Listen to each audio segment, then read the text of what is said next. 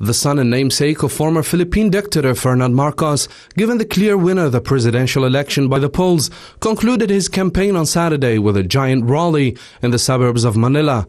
We believe that the voice of the people should be in this um, place today because we believe that majority of the Filipino people, especially women, supports uh, Leni Robredo. A victory in Monday's poll would crown decades of efforts to rehabilitate legacy of his father, the dictator Marcos, who was overthrown in 1986 and died in exile in the United States. The prospects of seeing Ferdinand Marcos Jr. arrive in the presidential palace, however, worries human rights activists, religious dignitaries, and political analysts who fear a government without constraint. Ten candidates are in the running to succeed President Rodrigo Duterte in a one-round ballot where the relative majority is enough to be elected. Marcos wins, my only concern will be the safety of the Filipino people. Kasi uh, we're, we still have this fear na mawawalan tayo ng voice if ever he wins.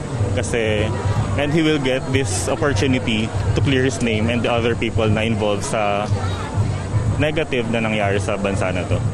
Tens of thousands of red-clad Marcos supporters braved the scorching sun and wind on Saturday to gather on a dusty wasteland overlooked by a luxury casino, a symbolic image of this country's huge wealth gaps that many are leaving for work abroad.